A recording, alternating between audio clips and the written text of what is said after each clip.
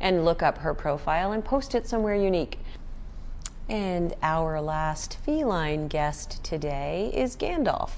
And uh, Gandolf is a beautiful gray tabby with little white feet and some white marks on his face, which you can plainly see. Um, and he is 10 years old.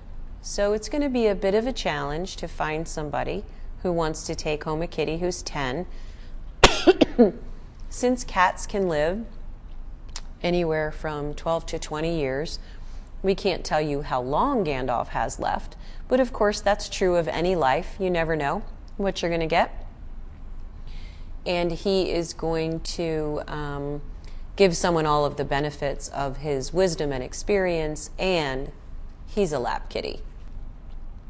Uh, he came to us as a stray, so we're only guessing about his age. It's uh, very possible that he could be seven or eight, but when we try to estimate um, age of mature cats, we're going to take into account um, his teeth, uh, how, what's the wear and tear on his teeth, so how old he looks there, but also his body condition. Um, and so we have uh, a vet assistant look at him and make their guess, and a veterinarian look and make a guess. So if you adopt one of our older pets, what uh, I recommend that some people do is bring him to your vet for that first appointment without telling them the age that we estimated and see what they say. I had a German Shepherd of my own that was estimated by three different vets to be three, five, or seven, um, all in the same year. So sometimes it is really a guessing game, and what will happen is when you adopt a mature cat, as they age, you end up having to decrease the age at which you got them. For example, I got a cat that was two from a shelter, but 18 years later, he was still alive. So um, maybe he was only one. Uh, it's hard to know.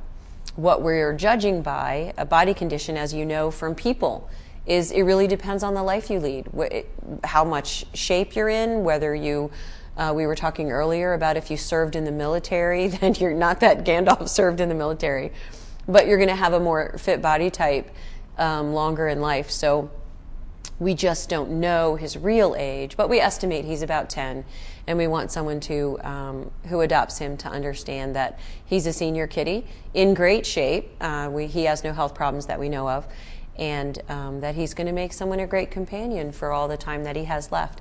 So if you have seen a kitty today that uh, interests you or you think might make a good match for someone that you know, please share. That helps us a great deal.